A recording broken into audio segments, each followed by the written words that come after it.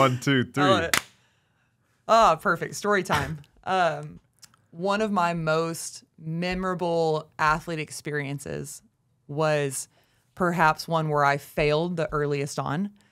Uh, there was this guy that walked into the gym and he was chatting with me about how he had never really been able to stick to a workout program, was looking for some extra coaching, was looking to be able to hit his goals finally. Um, and so, what we did was our first month really keyed in on hey, how are we moving? Make sure consistency is there, make sure that the weights are progressing. I was like, man, I got you. This is going to be awesome. And, you know, he had said he was really excited about gaining muscle and losing fat. And so I was like, okay, we are on the same page. I saw him every day of the week, Monday through Friday. He was super consistent. So I was like, this is a slam dunk. Like, we have never done better. No problem. It was easy money. So we get to our first month check in, and I put him on our InBody scanner. I mean, everything went according to plan. He had gained muscle, he had lost fat, and I think a pretty significant amount. And he sits back down and I was like, oh my gosh, we, I was like giving myself high five. Yeah. Like everything was awesome. I was like, this guy's about to One- sing my praises. One compliment at a time, please. stop it, sir. stop it, stop it. but he sits down and he was like, "Hey, so uh, I think I'm going to go ahead and quit. I don't think this is the right fit for me." And I was like, "Oh, okay, what?" And we got into this conversation, and it turned out that he was really looking for a group of people and a social interaction and a new set of friends. And after that conversation, he was like, "Yeah, so I'm going to go ahead and put him in my two weeks notice. I'm I'm going to go try something else." And I was like, and I think that I felt like I had just been slapped in the face of just like cold water hitting me almost. And I walked away from that interaction thinking almost like mad at him, right? Mm. Because what he had communicated at the very beginning, I nailed, or I felt like I nailed. And it turned out that what he was saying wasn't actually what he was looking for. Hmm. And so a little bit deeper digging, I knew okay, I didn't ask the right questions at the very beginning because what I should have been doing instead of making sure it was a perfect progression and making sure all of his weights were right, I should have been introducing him to people in the gym and introducing him to different class times that are more social than the others mm-hmm. so that he felt like he had a place and a home. And I had not been doing that. So it was this very realization of, hey, I've got to get out as early as possible the real reason why people are here. Because most will say they want to look some version of being better, whether that's muscle mass or weight loss or whatever. But he was one that I was so frustrated with, but also changed the way I interact with my athletes at the very beginning because I realized if I don't have the actual reason as to why people are here, I will not know how to motivate them or be their coach. Great job, man. You nailed it. Who are you? Uh, my name is Brittany Rice. Brittany, how long have we been coaching together? So long. So honestly. long. Honestly, I've known you for a hot minute, but it's been four and a half years at BPR. Isn't that nuts? It is nuts. And what an honor it has been. Uh, I think very highly of you. Do you know that? Thank you. You know that. Thank you. One of the, um, I believe, innate skill sets that you possess is the ability to ask great questions.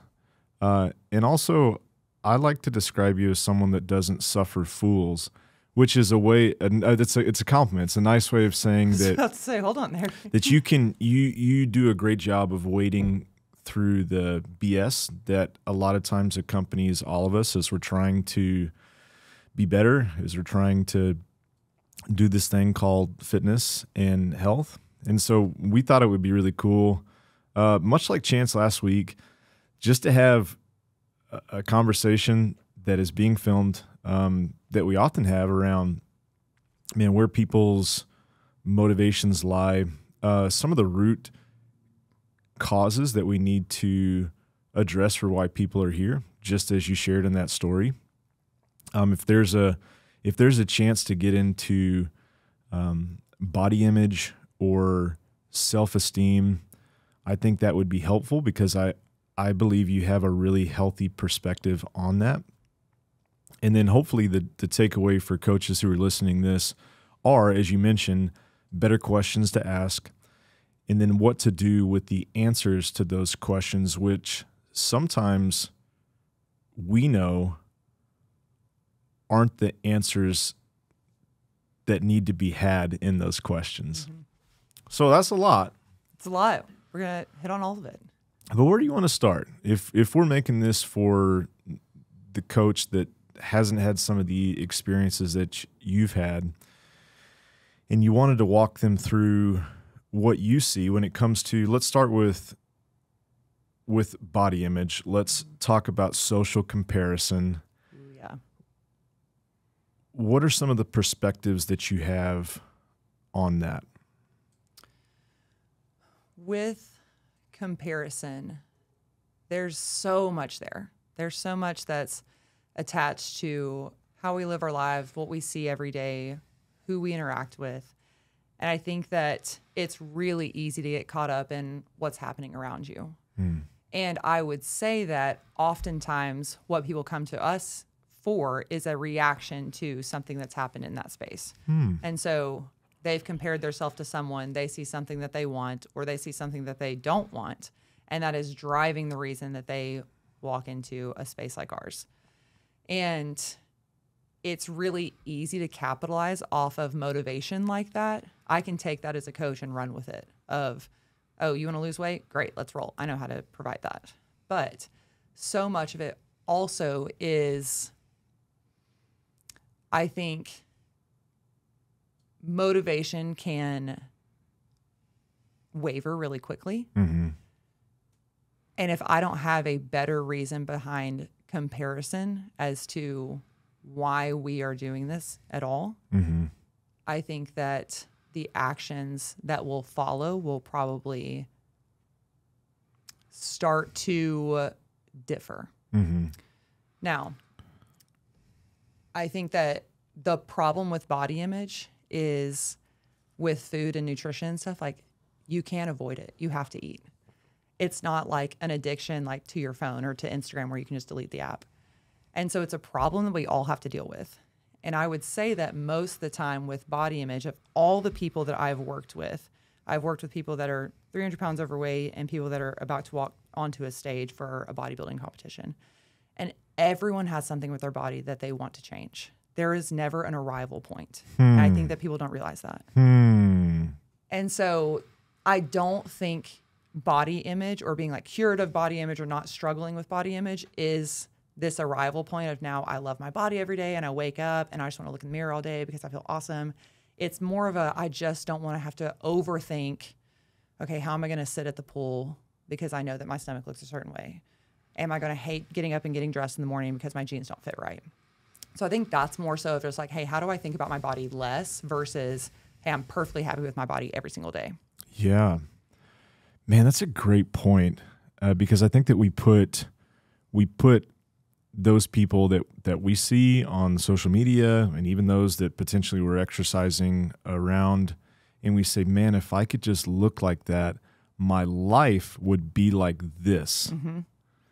if i can just get to a point where i'm there then i don't have any problems yes. i think unchecked there's so much that they attach to how they look externally and if you think about it like I know those influencers. I know a lot of them. They do not have the lifestyle that you want. Mm-hmm. And truly, I like I have an experience Their life like that. Yeah, kind of sucks. Yeah, it's honestly you not don't kinda. want that. Their life sucks. Right. I I mean truly I've like stepped into that like I've like tracked macros and done all this stuff and I hated it. Mm-hmm. It was awful. And so that wasn't a good fit for me. Might be a good fit for others. Not not dogging on that. But it was something where, you know, with certain physiques, you have to give up a lot. And so I think that they see that like, oh, my problems will be fixed. But then as far as their lifestyle of what they want to create, they think that these influencers or even just these like elite athletes are living a very similar lifestyle, but they're just getting totally different results. Mm-hmm. And so they think, oh, I'm still going to be able to, you know, go out with my friends on the weekends, like enjoy my life. Yeah, just like be all. a happy camper, uh-huh. get to uh-huh. travel, and and that's not the case. And so that's what even it makes me laugh so hard when uh, girls come in here and they're like, "Oh, I don't want to get too bulky, or I don't want to like you know be too muscular." like, do you know the amount of effort it takes to look like that? And so I think that so many times, yeah, just the expectations of what comes with a certain physique is totally off. Mm-hmm. So I think it's a great point. Uh, I, that's a great point for us, just personally. Mm-hmm. I think it's a great point for us as coaches, not to not to like jam that in somebody's face, mm-hmm. but to hold on to that very gently. That this process that they're going through of of initially comparing, it's probably a natural aspect of being a human being, right? Mm-hmm. We have others to evaluate where we're at. We we can't really avoid that but much like anything there's there's just a point where you have to really tease that out to mm-hmm. say "Wh- what is it that you're saying that you really want? And eh, you know maybe maybe one of those great questions is do you think that by being uh with lower body fat that you're not going to have any problems in your life? Do you think you're mm-hmm. going to be able to eliminate suffering from your life? With I think there's a there's a disconnect because with a certain body style or bar- certain aesthetic that people look towards, we think, you know, yes, we will eliminate all suffering from our lives. That is when my life will be perfect. That's when my life will be easy because I like what I see in the mirror. Mm-hmm. And they don't take into account all the other things that change in your lifestyle because of that. So, so much of when I'm coaching people, it's not even a hey this is what your nutrition should look like and this is what your workout plan should look like i really ask the question of what do you want it to look like what do you want your relationship with fitness to be what do you want your relationship with nutrition to be because us as coaches know what it takes the input that it takes to get certain physiques and the input it takes to make your life look a, certain way but if they're not wanting their life to look like that then it's our job to bridge the gap of what results that actually creates. Mm-hmm. Because I think it's like a precision nutrition thing where it shows, like, hey, if you want this percent body fat, this is kind of what your life looks like. And I've sat down with so many people, and especially girls, but guys have it too, where I'll ask them instead of inputting, hey, this is what you should be doing for nutrition, we should be doing A, B, and C, and, you know, cooking all of our things from home and eating as, you know, raw as you can or whatever. I just ask them, hey, what do you want your relationship with food to look like? Mm-hmm. Because a lot of people would say, hey, I still want to be able to go out to eat a couple times a week. I want to be able to eat the dessert at birthday parties. I want to be able to not think about if I can have a glass of wine with my steak. And for those things, I'm listening for, okay, this is a lifestyle that they want to be a part of what's happening with them. Now, if they think that they are going to look like the figure competitor that's about to step on stage, that's where my work begins to be able to align expectations with what the actual output is going to be. So I hear you saying that there's uh, a difference in because some people are saying like I won't be happy until I'm perfect, mm-hmm. and what I hear you saying is let's zoom out, let's look at all the things that have to be there for this thing that you want, and do you want these things with that? Mm-hmm. And another way of saying that is instead of perfection, it's satisfaction. Yeah. What what will you be satisfied in this whole system of things that have to be present. Mm-hmm. And if you're not satisfied with these things, then we probably shouldn't expect that to be the desired outcome. Yeah. And if we're really looking for something that they will pursue for a long period of time, there has to be this aspect of I feel emotionally satisfied at the end of every day. Hmm. If you feel like you have deprived yourself all day and you've, you know, done stuff that you hated all day, but you're working towards this goal, that goal is not going to be very satisfactory. Like maybe for a season where you know, I did this really hard challenge and I reached this goal, but now I go immediately back to something else. But it's so important to know how do you want your life to look and how do you want and that plays into all different aspects of things of and even what we've been been dabbling in coaching is what do you want your relationships to look like? What do you want your relationship with food to look like? What do you want your relationship with fitness to look like? and then be able to coach them towards that, but also set up realistic expectations of, hey, if you are really intent on, like I have an athlete that he's like, hey, I want to go out and party with my friends every Saturday night. I'm like, great. If that's something that's really important to you, we can make that happen, but you need to know what that affects the rest of the week. And you need to mm-hmm. know how that affects your results so that when we sit down together, it isn't a mismatched expectation. Mm-hmm.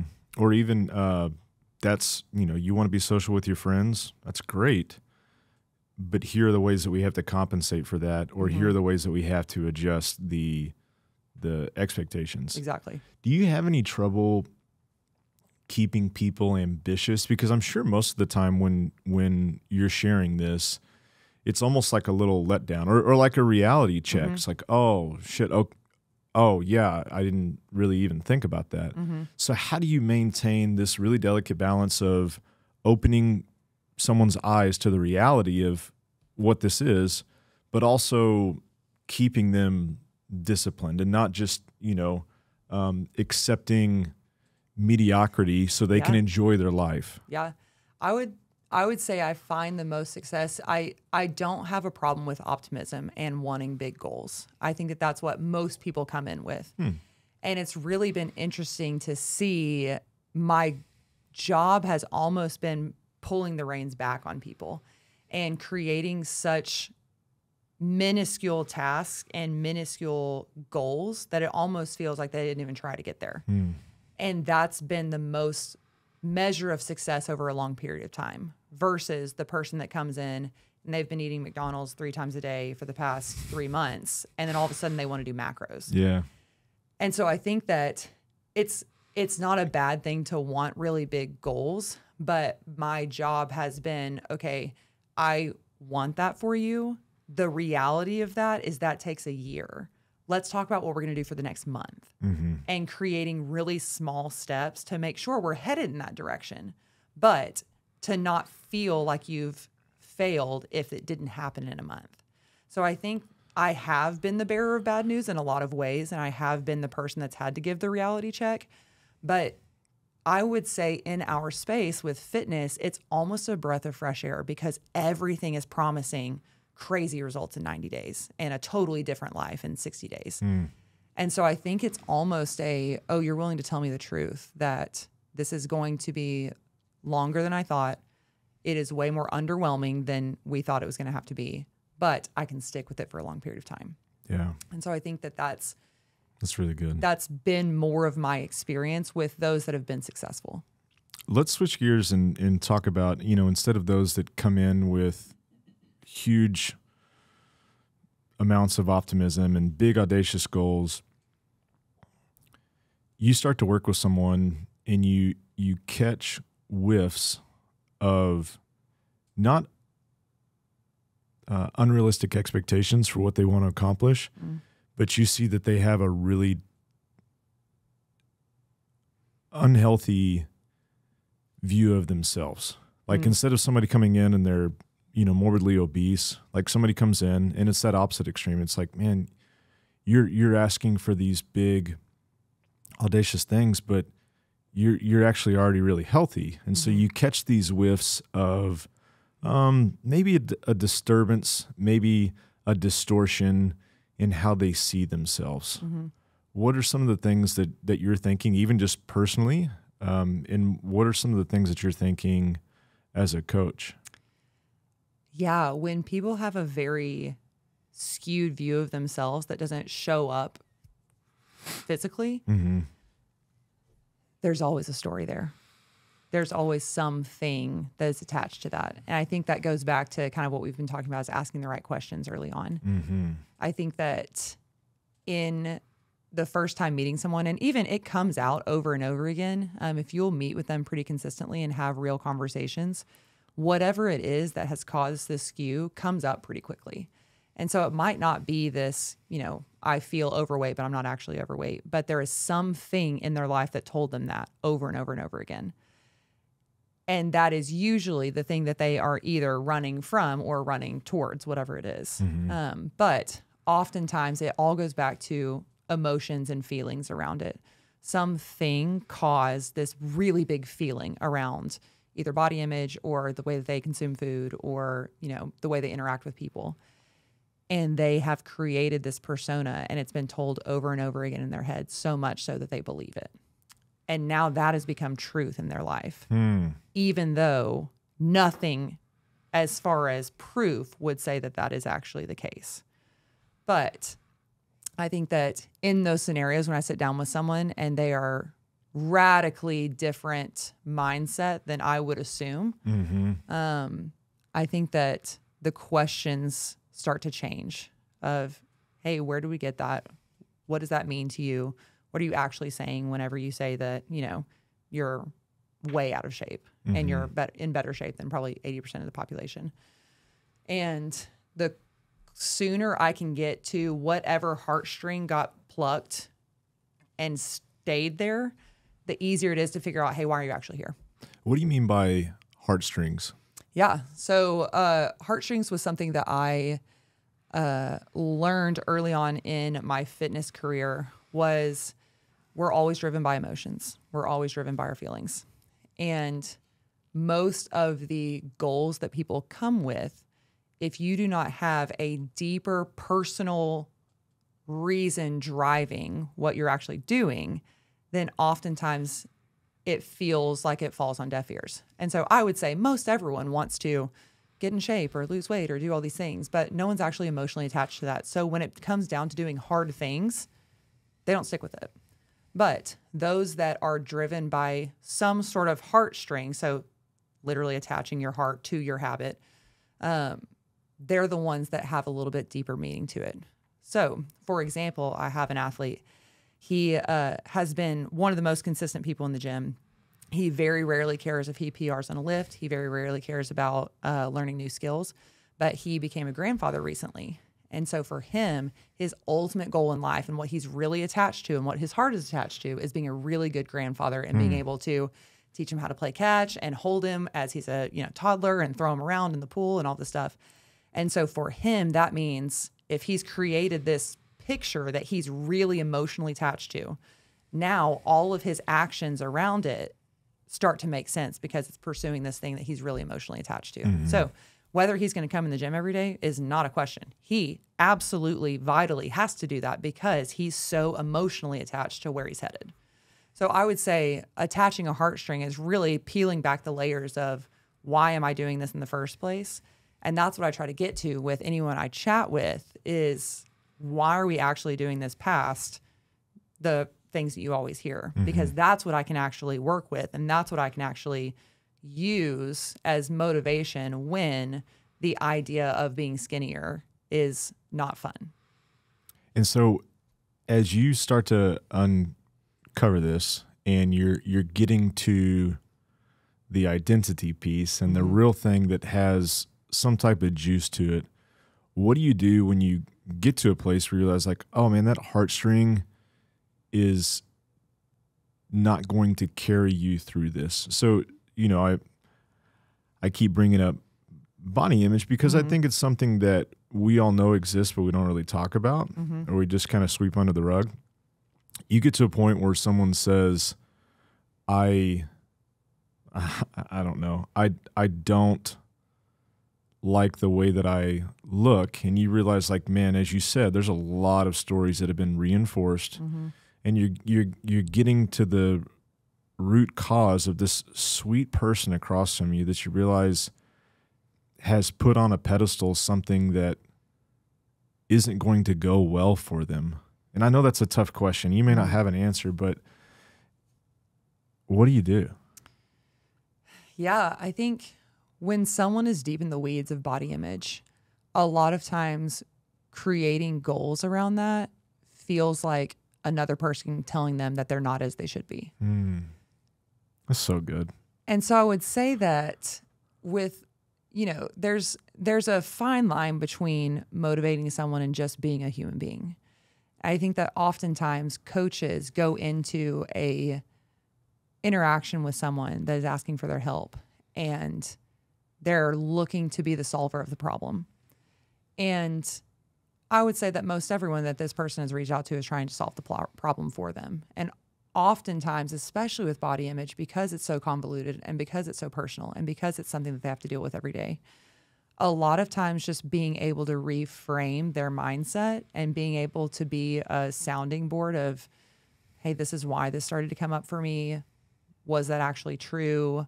What does that look like now? What are the ways that we can think about our body positively? If it's not the way that it looks, well, let's talk about all the ways that your body, you know, performs for you, or let's look at all these different ways where, and so I think that oftentimes, you know, I look back to those that have struggled with body image a lot. The goals have not been around, let's lose this amount of weight. The goals have not been around, you know, let's look this certain way or let's like find this one pair of jeans that you want to fit in. But it's truly been a, hey, what is something that your body does for you that you're thankful for? What's cool, Britt, is I have seen that happen with your clients. And we won't mention any names, but you know who I'm talking about. Yeah. Where we've seen, you know, somebody come in and it, it just reeks. You know, it's like, oh man, we we know what's going on here. Mm-hmm. And you have gently, graciously, and patiently expanded what they're proud of, Mm-hmm. which is beautiful. It really is something that because this is the body you're working with, there is a realization of, hey, this is what we've got right now. Mm-hmm. And there's an aspect of let's steward this well. What does that look like today? And what does that look like this week? And over time, if we can start to treat our body well, then you will get the results that you didn't even realize you needed. Mm-hmm. And I think that with that, we get to take our coaching hat off and kind of put our like teammate hat on Mm-hmm. of, okay, I don't necessarily need to be the guide right now. I need to be the safe space. And if you can create that for your people, then they are much more willing to one tell you about that heartstring. Because what I've learned is also, you know, we're talking about all this like touchy feely stuff. No one's gonna like weep with you the first time you see them, right? It takes some emotional capital there Mm-hmm. or relational capital, I guess. Uh, so I think that there's a lot of, hey, let's get back to the root, let's get back to the root, let's back to the root. But most people are not prepared to share that with you. And so it does take patience. And so what we are saying sounds all pretty and nice, but if you were to walk into a first interaction with someone and be like, all right, well, tell me the deepest, darkest reason as to why you hate your body, probably not going to be great. Thank you so much for asking. yes, exactly. They're like, I've been dying to tell Yeah, someone. So I was hoping you'd lead with that. Yes, yes. So I think it takes a lot of patience. I think that it also, they are not, they probably have not looked at that. They have not probably dug deep into why that's happening. Mm-hmm. And so the right questions, but also being able to acknowledge, like, hey, this is a sensitive subject for someone. So maybe it's not shared on the first time. Mm-hmm. But every time that we, if I get that whiff of like, man, it's it's written all over you that we've got a skewed view of something.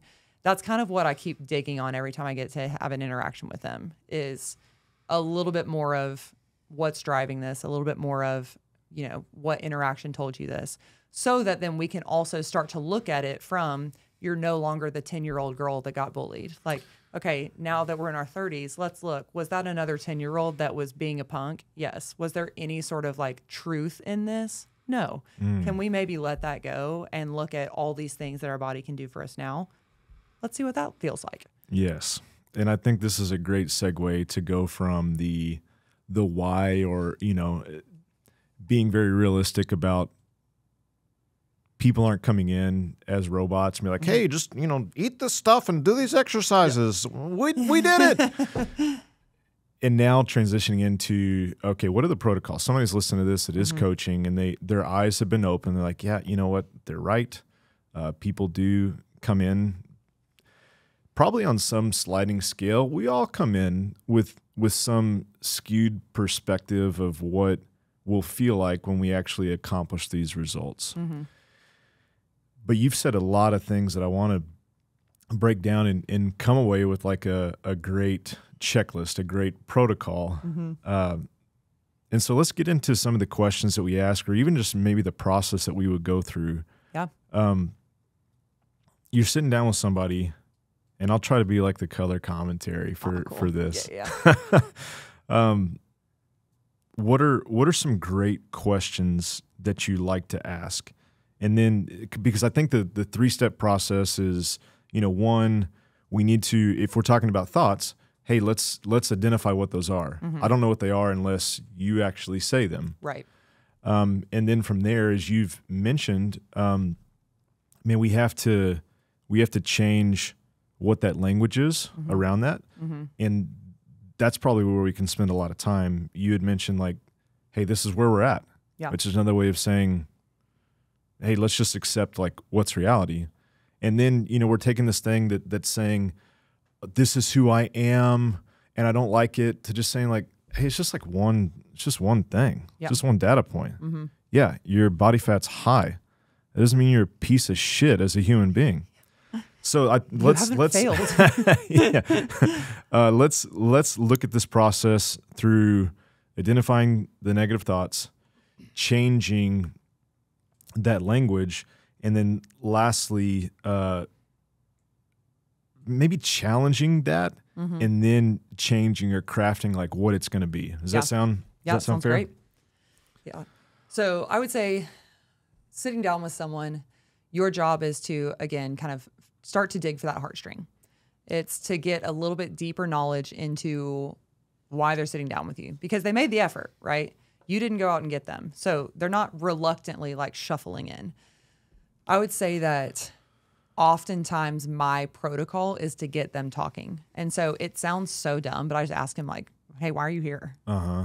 and where they take that makes it really easy for me. Now, a lot of people are, you know, give the very generic answer of, oh, I've tried a lot of working out and I want to work out in this space instead. And I tend to, it's called, you know, the five whys. And it's more of a just like, hey, tell me why this place instead of somewhere else. Okay. Tell me why that feels like the right call. Okay. Tell me why this is the thing.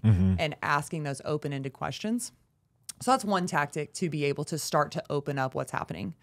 Um, I think that if I can get them telling a story of I'll, I'm listening through, you know, I've done this and I've done this and I've done this and you know all these things haven't worked for me. I start to cue in on these certain things that they are saying over and over again. Like, okay, well, you've said nothing's worked for you. What do you mean nothing's worked for you? Why do you think that is? And just get them starting to process through why they think because as a coach, you can really easily be like, oh, well, this is just because you're not A, B, and C, and you can be the provider of the answer. But I found it so much better and sticks so much better if they can come to the answer on their own. Mm, so that's really good. it's the motivational interviewing, I would say, is I have something I'm trying to get you to. And I actually don't know what it is yet. I know it's something that's highly emotional to you as to driving most of your actions right now. But the questions that I come away with are often start with why, just to leave it open ended. I would say that I try to put them in a state where they have to tie into their emotions. So say that everything went according to plan, everything you're saying that you want from me, I delivered on. In three months, how do you feel? What's different about your life in three months? Yeah. What can you do then that you weren't able to do now? Mm-hmm. Okay, let's take it a year. What can you do in a year that you cannot pursue right now? That's really good. And so I remember there was a there was one of my guys that he was talking through. He had just gone through a divorce and he was like getting back out there for the first time and just like wanting to feel his most confident. shooting a shot. Dude, he was going for it. And so it was so fun to get to walk through that with him. But what we discovered was he was like, Oh, I'm doing all these things because I don't feel confident dating. And he was going on more dates than I've ever seen anyone. It was awesome. He went for it, jumped in the deep end. But I talked to him and he wasn't pursuing what we had said to do. I was like, hey, here are the things that we need to work on with nutrition and here are the things we work on. And we had sat down after a couple months. I was just like, hey, man, like, tell me a little bit more about why this keeps being a miss. And what he had stated was, hey, I feel like I'm missing out on feeling confident on dates. So I feel like I'm not going on dates because I feel like my body doesn't look like it should. And what we learned was that he feels fine going on dates. That was not the problem.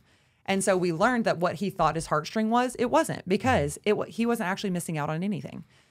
So we got to then redig. And so I think that with attaching an emotional reason behind it, it's easy to try to be like, oh, that's for sure it. Or, oh, okay, that's the reason why. Mm-hmm. And it just takes some time with people. But as far as your question of, okay, let's talk through from start to finish, I would say ask them why they're there, get them talking, ask them why that's important to them, ask them what would be different, ask them how it feels once they get to the place that they're saying that they want to go. And those are great places to start to get them to talk through And you'll usually start to see a theme that starts to come up. Mm-hmm. And then as you start to see, oh, I've always been self conscious, or I've always not been confident, or I've always been this. Okay, tell me about a little bit about that Mm-hmm. self confidence. Why do you feel that is? Yeah, yeah, so good. the The big question of w- three months from now, everything happens in therapy. That's called the miracle question. Mm. You wake up, and everything that you possibly could hope for happened. How is your life different? And what I hear you saying is that you're you're asking questions just to hear something that comes onto your radar is untrue, Mm-hmm. right? And and what do we mean by untrue? It doesn't mean that you know theologically it's it's not in line with what you believe. It's just that it's a they have said something that's a value judgment instead of an objective fact. Mm-hmm. And so, as coaches, we are. Uh, you, you mentioned motivational interviewing. There's there's specific criteria to that. It means that you're asking open-ended questions. Mm-hmm. It means that you are affirming what they say, and that doesn't mean that you're trauma bonding and you know you're like, oh, yes, bless your heart, hard, yeah. Yeah. You say, hey, I, I could see how that would be hard. Um, whoa, that's a that's a wild story. That's Mhm. that's affirming, right? It, all it is saying is like, hey, I'm I'm listening to Mhm. you, and when someone gets that, it's very easy for them to continue to talk. Mm-hmm. Um, a lot of uh, motivational interviewing is based on um,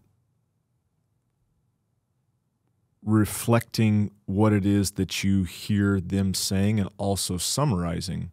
Um, because sometimes you will hear something that you realize isn't an objective truth, it's a value judgment, and you'll need more clarity. Mm-hmm. And I bet you're the same as me. Oftentimes, but so so when you said that, do you mean Mm-hmm. that this is true? And yeah, sometimes they'll say like, no, no, no, that's not what I meant. Or Yeah. they'll be like, yeah, that's absolutely what I mean. Yeah. And I've said this before, but what I love about this part of coaching is that I mean, you don't know where it's going to go, and you're not an architect, um, you know, with a puppet on a string, like controlling this person. You're just digging. You're an archaeologist, and you're like, hey, I know there's going to be some, there's going to be something here in this big desert, but I don't really know where it is, and so I'm just going to go for it Yeah. but I I think what you described is um, something that everyone, if they're patient enough, can emulate. Mm-hmm. And I remember when I first heard like the five whys or the you know Socratic method as it's called, I was like, this is stupid. Somebody's going to be like, why do you keep asking me why questions? Mm-hmm. But if you're if you're deliberate enough and you really seem like you're listening, then it's very natural. Mm-hmm. It doesn't be like, Well, why do you do that? Well, why is that true? Or why is that That's true? what I was Yeah. about to say. Is truly, if you just go, why? Like you sound like the seagull. Like you can't just keep pecking at them. Mm-hmm. It has to be a okay. I heard this in your story. Why do you think that is? Yes. Okay, let's build on that. Okay, well, this is something that I just heard. Why do you think that is? it's it's a concept and a very simple framework that you think doesn't work, but it does work if it could just be it's it's improv, right? Mm-hmm. Instead of no, but it's yes and yeah. ooh, what about that? Ooh. Ooh, and tell me more. Oh, mm-hmm. why did you say that? And then you get them basically painted into a corner where you've arrived at this, we'll call it like a sentence that is not doing them justice. Mm-hmm. What do you do at that point? At that point in time, I often because most of the time those sentences come in blanket statements. Well, everyone thought I was this, Hmm. or this person thought this of me. Okay. And it's a lot of assumption and it's a lot of I created this story in my head. And so I will usually ask them, like, it's almost insulting to say, but it's like, hey, did every person actually say that to you? Or did that person vocalize that? Or when you felt dumb in this group, did they tell you that? Mm-hmm. And most times it's a no. It can be a yes. Like you said, it's improv. We don't know how that conversation is going to go. But I think giving some language around, hey, tell me in actuality facts. Mm-hmm. What does that sentence actually mean? Yes. It means that I interpreted that they thought something different of me, or I interpreted that this whole thing went to absolute crap. Those uh, these specifics because I think it's important. As you're listening to this as a coach, you're looking for words that increase the emotion. Always, never. Uh, also, projections on. So, so the first one I would call dramatics. Right? It's just words that we use to when somebody hears it. My daughters do this too. oh, man, she always does that to me. It's like always. Quite Yeah, literally yeah. always. Yeah, and it totally takes the wind out of their sails. Yeah. Like, okay, not not always. right. So that's one. Um, projections, right? She she always does this to me. She? And then I, I think uh, statements of disbelief could be a third category. I can't believe that after all these years, I'm still overweight. Yep. Yeah, so Yeah. there's probably others, but I That's think I think those three are, are Yeah. ones that that come up quite often. Yeah. I think that also when those like I like to call you know the blanket statements, right? Where it's like mm-hmm. it's a huge catch-all. Mm-hmm. I like to and a lot of my friends hate me for this, but I love to ask, okay, let's play it out. Like let's say that that is true. What does that do for you? And That's so good. it's so funny because Take notes. That's so good. pen and paper people uh but it's so funny to say okay like and you know we i think anxiety is so much of like creating these stories in your head of what's going to happen. And if you play it out nothing bad actually happens. And so it's such a funny thing where i'm like okay walk me through if that happens. Like if someone thought you were dumb what happens? You just go on your life. Like they might think that. Are they going to say it to you? Are they going to like defame you in front of a large group of people are they going to like like what are you afraid is going to happen if they thought you were dumb or they thought that you looked if we're doing body image they thought you looked bad in a swimsuit like nothing bad happens to you if you will play out in your head the worst case scenario is that i looked fat whenever i was sitting by the pool because my stomach looked a certain way like okay what happens if that is true nothing bad happened to you. Like that was a story you created in your head. And also, no one is actually thinking that you have created that. Like, no one told you, hey, you look bad. Mm-hmm. And no one gathered people to say, hey, did everyone see that she looked bad?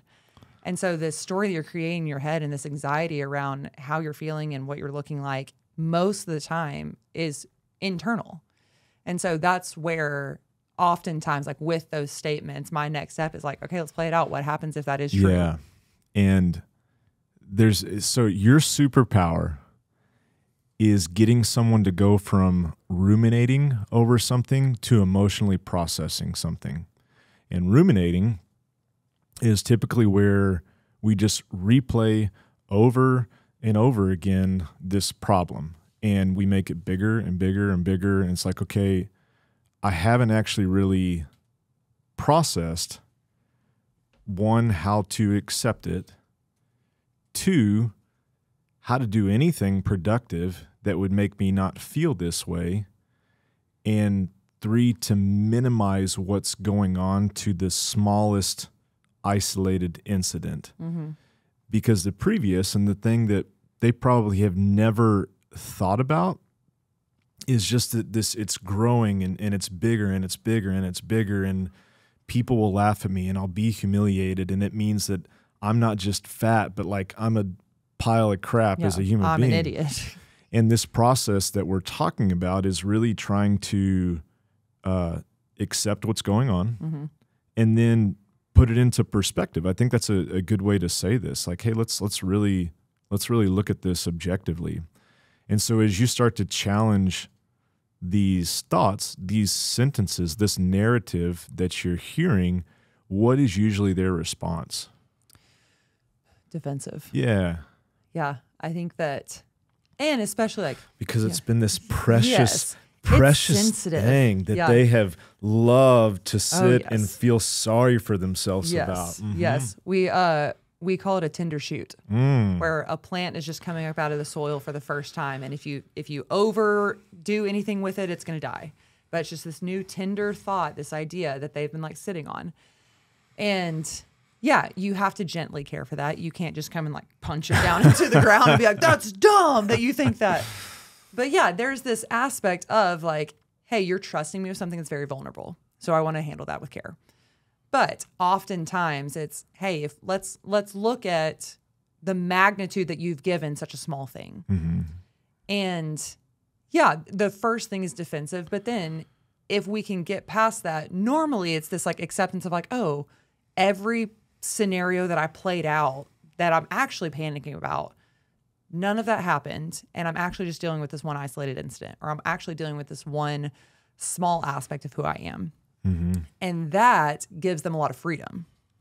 If we can truly say, hey, you know, all those cases in which you over, you know, emphasize this are not actually happening right now. And we can just deal with this one aspect of it. Okay. Let's control our controllables now and see what, like, let's move into action steps so from good. there of, hey, can you actually control what people think of you? Can you actually control all these different things that now we are spinning out over? And the answer is no, right? And so most of us tend to spend most of our anxiety on things that we can't control. So now we get to get into the coaching aspect of what can we control and what are the things that we can do and now how can I hold you accountable to them? Guys, so good, Britt, because everything that we've unpacked right now, I believe, is skipped. Mm-hmm. And we just go to the prescription. Hey, just do this, do this, do this. Mm-hmm. And it means nothing, right? It means nothing to the person because it doesn't feel like it's it's catered to who they are. Mm-hmm. And it's not factoring in like the really deep scripts that are going through our head. And so once we once we've done, and this is a whole session, right? Mm-hmm. I mean, it's like we we hadn't talked about nothing but this. Right.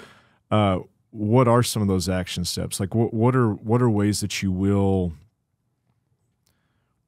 coach this? Mm-hmm. Whether it's it's cognitive and it's giving them different scripts that they might say in place of that. Hey, every time that you feel this way, I want you to say this. All the way to different behaviors. Like, mm-hmm. hey, if you know, we've talked about like if there's certain scenarios where these start to creep in more and more, here's what we'll do here. What would you do? Great question. I think that a lot of it depends on the person and Totally. depends on where they're at with that. Mm-hmm. Um, I think that action steps vary, but all that to say, I think that okay, what are things we can control around, you know, body image or even just like putting yourself in certain situations? Hey, maybe this might not be the right time to be in this particular situation, and that's got to be okay. And maybe this is the right time to try to do this new thing. And so it's hard to put exactly what the action steps would be moving forward. But I think that with that person sitting in front of you, you can start to work with them of, okay, what would happen if you did this instead? How does that feel? Okay, what would happen if we did this instead? How does that feel? And I think that so much of it, if it's collaborative, again, they're a lot more likely to stick to it. So even with the, okay, now it's prescription time, mm-hmm. if you just slap on what you would do in that scenario, it doesn't actually help as much. And so I still move back to letting them create their own Oh, answers. Yeah. basically. Um, so it's, you know, as a coach, that's not what you want. You want to hear, well, A plus B is going to equal C. Mm-hmm. But it's so convoluted when you're dealing with people's emotions and especially with things like fitness, nutrition, body image. And so there have been times where, hey, it might not be the best scenario to work out with this girl that always takes her shirt off and has an eight pack. Like, do you think that you could find a different class time so you're not just constantly looking at her and comparing yourself? Just drooling over. her. Yeah, exactly. like, do you think that it would be a good idea if you always, you know, if you find that you spiral into these negative actions once you've had alcohol, do you think it would be better to not drink alcohol tonight? Hmm. Like, just little things like that. I think those are two like really easy like Yeah. lob ups. You know, it's not going to always be that easy, but I think that there are some ways that you can start to make steps towards hey, if these are negative emotions that come around this, if these are things that you are deeply struggling with and you want to get rid of, here are some ways to in which we can start to combat that and tell ourselves truth as well. Yeah, that's really good. And it makes me think that in um, Cognitive behavioral therapy, Oh, yes. A lot of times you're asking questions of, hey, this thing that led to you feeling this way, what happened right before there? Mm. And I find that it's very easy to cast judgment on people, especially when they're going through something that you yourself may not have experienced. That's real. And you know, a lot of us, it's like that are that are coaching. Yeah, maybe we didn't, you know, grow up as Hercules, but at some point we did taste success. Mhm. And so it's very easy to, as you're sitting with someone, be like, hey, why can't you just do this thing? But I've found, and so, and from that, you would make assumptions that, well, they don't have the answer. This person's an idiot. Mhm. But I found that if you ask the right questions, and especially if we're on this train of thought and their their brain is thinking now more objectively and they're processing this, they have great answers to these questions. They do. And so asking that cause and effect question is, hey, when you felt this way, what happened like right before that? They typically have an answer. hmm Hey, what do you think would be like the easiest thing you can do to take ground here? They typically have an answer. Yeah. And so instead of you once again having to be um, this mind reader, I think that if you can get them on this train of thought and their brain is now activated to this thing that we're talking about and you ask the right questions, all you have to do is scribe, you know, you have to be a stenographer just to Mhm. write down, okay, so you think step, okay, step one, you'll do this. What, what, what do you think step two is? Okay, you'll do that. hmm All right. That's what you said you, s- want to yeah, do this. Yeah. You said that. yeah. I find Thank that you so much. I didn't do anything. I just wrote down what you said. Right. Yeah. And that's what I mean. That's when it makes it so much easier with coaching and where compliance really like shoots through the roof, right? Because I didn't impose my ideas on them. Because Mm-hmm. you're right. I have such a hard time with seeing things in black and white. I'm like, if you care about it, just do it. And that's what my uh, mom's best friend from growing up, she basically like her motto was like, oh, if you cared enough, you would. And there's some truth to that where it's like, hey, if you care deeply enough about something happening, like you will make it happen. But now that we've gotten to the root of it, we know they deeply care about this. So it's no longer like, oh, you just don't have it or you just aren't motivated enough or whatever. Like now we've gotten to the root of why they're actually doing the things that they're doing or why they are avoiding the things they're avoiding. And so there is a deep connection to it. Mm-hmm. Now the action steps should be easy to play forward. That it's like, hey, you told me that you wanted to do this. And that's where you can repeat back to when you meet with them again is it doesn't have to be this like, hey, you're coming into the principal's office because again, you didn't do what I told you to do. It's like, hey, you told me that you were really excited about these. So you tell me why we didn't act on them. And or if it is, then great, we get to celebrate with them. that's probably a great place to land the plane mm-hmm. is man we've had this great interaction and then they still make mistakes Yeah. how do you how do you coach through that Totally. they say all these things Yeah. and and hey We get there. you, yeah. you wrote it yeah. and and they make a mistake or or they're not perfectly adherent Mm-hmm. how do you how do you handle that That's a great question. I think that we have to acknowledge that people change and people evolve.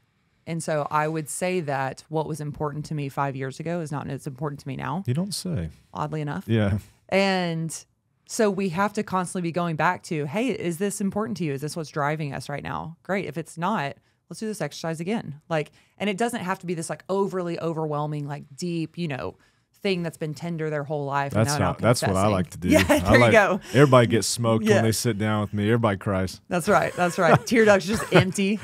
But no, I think that when they don't adhere, that means that either they weren't tied to it or we didn't get to the actual thing that's driving them. Hmm. So I would say that you don't necessarily have to go back to the drawing books, but if the actions don't follow, and you've said this to me plenty of times, like either it was too big of an ask or it wasn't the right ask. And so, what are the things that we need to reshape to where it's either they don't see that these actions are going to get them to where they want to be, or it felt too overwhelming. So they went back to what was comfortable. And I think that's more realistic than people realize that we write stuff down and we we come up with this prescription for them but that's where it starts. It's not mm-hmm. where it stops. Mm-hmm. And it's this iterative process where it's like let's try this. How did you do? Okay you didn't do it. Either it's one or the other right? Just like you said. And then that's where we step in with the experience and say, okay, well let's let's make this smaller. Let's make the the cadence or the frequency different. Hey, let's even change the focus. Instead of this thing. Who cares about that? Now let's focus there. And that's what's so freeing about having so many methods to work on recovery and stress management and nutrition and exercise. And it makes me think of even when my kids make mistakes. Um, which they do all the time, we take it from this big, huge uh, narrative of who they are as a person, and we reduce it down to the absolute smallest thing we possibly can. And as we're talking about this, it's not like you're a bad kid. It is this one thing that you tried to do, it didn't work. What do you think we should do instead? Mm-hmm. And so it turns out that that process for children works really well. it works awesome. we didn't develop that much. for the rest of us as well. That's so true. I think that there's so much there's so much validity to that because when you sit down with someone, it's really easy to place blame on them of like, I did what you said, but you didn't do what you said you were going to do. Mm-hmm. And that again doesn't create that relationship of trust. And it goes right back to the beginning of where we started. Exactly, Yeah. exactly. So if you come in as the accuser of you didn't do anything you said you were going to do, then that creates zero headway for either of you. But if you come in, I think like what we've been talking about is like coming in as a learner. Like, hey, if you come into it being like, hey, this didn't seem like it was the right thing. We weren't really attached to it. Like, what have you been attached to? Like, what did you see wa- wasn't working? And so, same thing where it's like, I start back with the five whys. Like, hey, why do you think that that failed? Mm-hmm. Why do you think that this wasn't the right thing? Okay, what could we do differently this time? Yeah. and just constantly coming in. I've i tell people most of the time like hey i want to be your teammate. I want to be the guide. If i have to be your principal i can but i'd rather reside here. Yeah. and so most of the time if i can come into that conversation even if they have done zero things that we have talked about coming into that being like hey walk me through why that is there's usually again another story there mm-hmm. of okay now there were these expectations that i felt like i had to do or whatever it was and so constantly coming in with that, hey, I've got something to learn here, also keeps it from being this regurgitated thing that we hate after five years. Yeah. And if we can come in and be like, oh man, everyone's motivated by a different thing, and I get to figure that out and then use that to help them, and then the next person's gonna be totally different, that's what makes coaching fun. And that's what makes you stick around for a long time. Yeah. Yeah. In the spirit of, of curiosity. Mm-hmm. And yeah, you, you bring up a good point. At some at some point, any great guide does have to say, "Let's go, Mm-hmm. come on." But it, but it's usually not. Come on, you piece of shit, right? Yeah. It's, you know, it's, it's, You're the worst 'cause it's- you didn't. Yeah, it's, Yeah. Just, it's just it's just enough. Yeah. This has been awesome. So much fun. Thank you for the way you approach coaching. Thank you for sharing those stories and and I would even say like your expertise around this subject and I want to finish by saying if there's someone that's listening to this and you have well not if we know you've dealt with this uh we don't claim to be experts even though I use that word we just have identified that this is real Mm-hmm. and so if that's you, reach out to us. Uh, this is obviously something that we're passionate about, It's something that we want to talk about.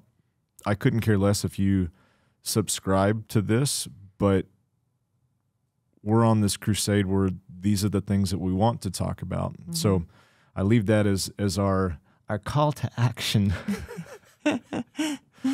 Thanks. Absolutely. Great to be here.